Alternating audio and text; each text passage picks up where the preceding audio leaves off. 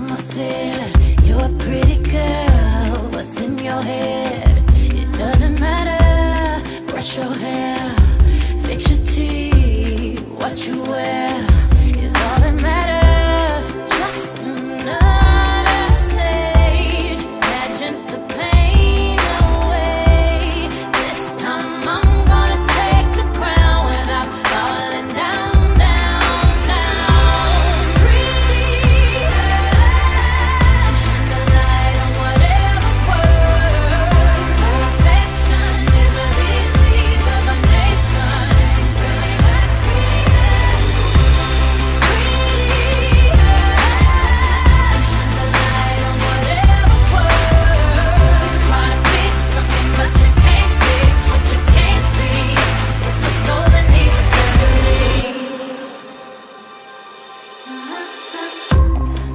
the hell